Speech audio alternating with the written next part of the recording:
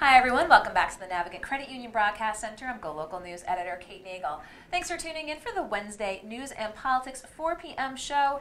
Just talked a little bit about the stock market with John Kozmarski with Efficient Capital Strategies. Now we're going to talk education. I'd like to welcome in my next guest, Dr. Pamela McCue with the Rhode Island Nursing Institute Middle College. Thank you for joining us today. Thank you, Kate. So happy to be here. I appreciate your coming here, not too far from the school.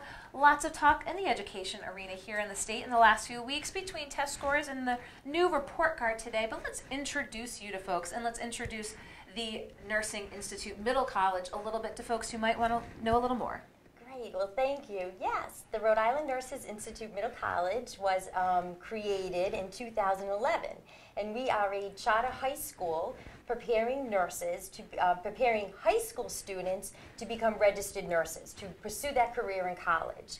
Now, we don't have enough nurses in the state, and it's not just about the nurses, it's the composition of the workforce. Mm. Um, we know that patients do better when nurses understand their language uh, food preferences, their culture, their religious customs.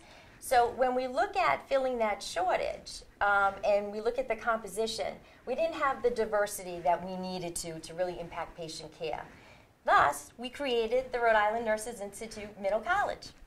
And so let's talk a little bit about that. You mentioned that diversity standpoint, and as we look at a population that's continually to get more diverse, what does the school look like from a diverse, uh, from the composition?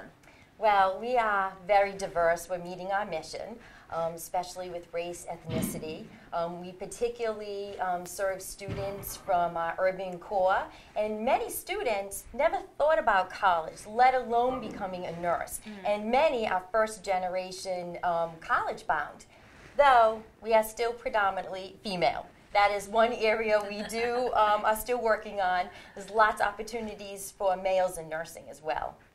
So, what came out today from the Rhode Island Department of Education was a new report card assessing schools across the state with a number of criteria. And this is the first time this star based system was approached and pretty much um, gives schools that baseline of which to work from now moving forward. Predominantly, so it's a five star system, most of them are in the middle, few at the high end, and a lot at the lower end. So, let's talk about your reaction when you saw what the assessment was from RIDE today and what do you think it accurately captured? And what do you think that it's not necessarily, as you said, because of the unique mission of the nursing the Nurses Institute?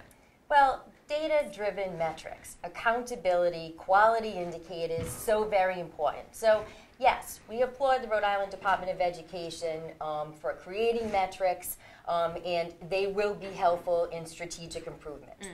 That being said, we have Rhode Island Nurses Institute Middle College, we are a unique school. We are the only middle college in the state and the only nursing high school. We happen to be a CTE approved program as well, dedicated with a specific mission.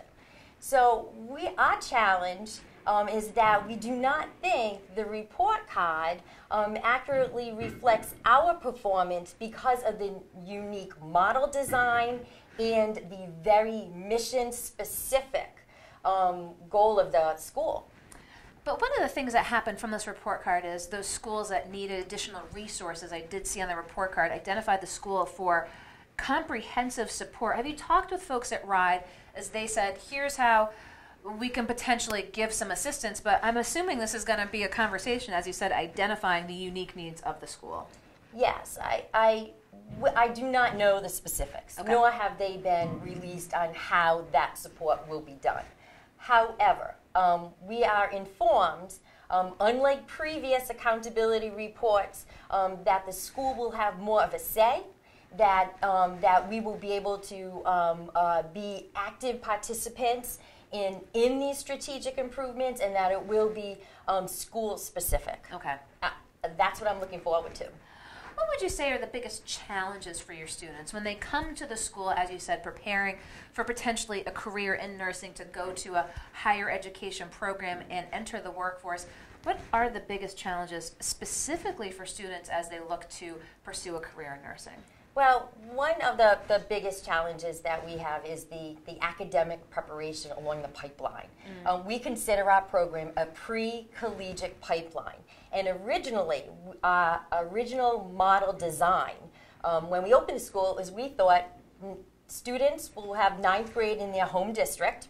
And then in 10th grade, they will come to us, and we will really build upon that foundation. And in our course of study, it's workforce certificates, the kids take college courses, and they learn nursing um, specific um, knowledge terminology.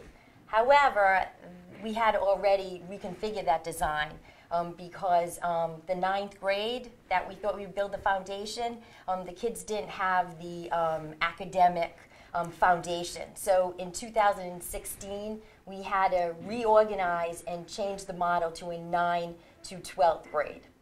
So now that you have the students coming in again for the ninth to really start them there as well, it's just shifting it down some as well because I'm sure that there's students who come in from challenges from the sixth through eighth school model when they come into the ninth. Is, is a lot of the ninth grade, would you say, really focusing on the basics? Yes, we're definitely um, focusing on the basics, the core academic subjects. Um, and, and we see very promising results now that we start the academic preparation earlier mm. with us in the nursing model. Unfortunately, the, the recently um, released accountability report doesn't reflect that transition. That's an old model where students came to us in the 10th grade. Mm. We had to do a lot of um, foundational work and they graduated in the 12 plus. So that's where we feel that we've already reorganized. We're very data driven, as healthcare is. And something doesn't work, we don't wait three or four years to change it, we make it happen. And as you mentioned, again, going from that 10th grade to starting at the 9th grade, having that system in place, what do you envision moving forward? Do you think that that construct uh, is what you're going to pursue, uh, or can it change? Uh, do you envision the possibility to be open to potential for a tweaking of that moving forward? Well, we know the 9 through 12th model absolutely worked. And in fact, another challenge we have with the report card on a graduation rate um, in which we were uh, um, uh, identified as improvement is we had a graduation rate which we calculated differently, but those students graduated with up to 20 college credits they were CNAs and EMTs, um, and they had 70% of them enrolled in college immediately after high school. So that that one number graduation rate, that's what I feel doesn't capture. The other challenge that we may see this as an opportunity is that we're a charter school. So students, um, we don't know their academic performance before they come to us. And um, we often find students um, are more interested in going to a charter school rather than becoming a nurse. And we are all nursing, nothing but nursing. That's what you get here. And we only have one path.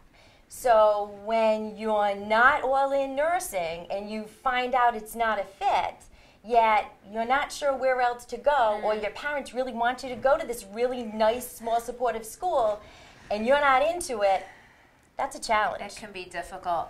Um, you know, is there a process to help those students? As you said, you don't quite know. Are they just waiting it out, trying to get through the 12 program? I, you know, that happens at every school, but here's a unique one that says it's either you're all in or out. Um, you know, how do you? It's, it's, tough. I mean, we're talking about 14 year olds, right? Mm-hmm. that are thinking that maybe this might be a career path that they want to pursue. I mean, what do you? How do you talk with those students when you've identified them? First of all, um, is it really sort of that you should? Uh, I mean, it's hard for college freshmen to say, "Here's what I want to major in." Again, back it up another four years. Um, you know, what are those conversations like with students saying, you know, is nursing really for you? Well, we do have that, and and not on this report, but previously, um, attrition rate has always been looked at, mm. and students would come to us within the first year, and they would find out it's not a fit and so they have the choice to go back to the home district. Mm. We think it's a good thing to find out what you don't want to do at 15 yeah. rather than at 24. Um, so, so yes, those are students who identify early on. But as I said before, we're, um, we're uh, working with students who maybe their neighborhood um, high school is not as safe as their parents think that it is. Mm. Or um, we are a small, supportive school, very nurturing, full of nurses, and um, it almost has a private school feeling. Um, so parents, they say, you know what, they really not like going to be a nurse, but we want them here, and we understand that. But we also try to say if then if the students don't really want it, they can't be forced into this. Not everybody wants, nor should be a nurse. Don't I couldn't have gone to an accounting school. I certainly know where you're coming from with, with that. And you know, you talk about the numbers of nurses needed moving forward. Um, I mean, do we have? I don't want to put you on the spot, but that data. I mean, how much of there is a shortage for nurses, both statewide and across the country? Well, um, in Rhode Island, Department of Labor and Training says we're going to need 4,000 more nurses by the year 2026. And the reason it's to fill traditional roles, as you would think, nurses, hospitals, and healthcare organizations. But as we move to more of a prevention focus, mm. and baby boomers are aging and sometimes living um, longer with chronic illnesses, we find out that we can't always have the patients come to us. We need to go where the patients are if we're really going to make an impact on improving health outcomes in the state. That's why we need more nurses. And you talk about going to where the patients are and preventative. Um, you know, is that from a, a, doctor's office model? Is it, is it, is, is it taking a look at aging healthcare differently? Well, that is uh, looking at how do we have the best outcomes. And um, patients don't always um, know where to go, have mm. access where to go. Um, so, this is a great opportunity for nursing to be in the community. Care can be in the home care in the churches, mm. care in the community settings. Um, that's where, and there, we see brand new roles for nurses that we've never envisioned before. And that's what we're preparing the future nursing workforce for. Anything else you'd like to share while we have you here in studio about the school, uh, about the assessment, and uh, anything moving forward as we're heading into 2019? Thank you. Yes, I just, um, our graduates, our program, built into our program is uh, uh, high rigorous um, graduation requirements. It's college prep, integrating healthcare and nursing knowledge. Our students begin to take college courses beginning in 10th grade and they earn a workforce certificate. We have a CNA program, an EMT program, and we just recently were funded to create a certified patient care technician program. Those pathways in themselves are in high demand in Rhode Island, but the entry level. So if you earn these certificates in high school and you already have workforce experience, it's just going to make the college journey easier and that you can afford it. Well, I appreciate your taking the time to come in today, talk with us a little bit about the school, a little bit about the assessments, and the industry in general. We love talking about education here in the Navigant Credit Union Broadcast Center. So, Dr. Pamela McCue, thank you so much for coming thank in. You. I appreciate it. Don't go anywhere. We're going to be right back here in downtown Providence. We'll be right back.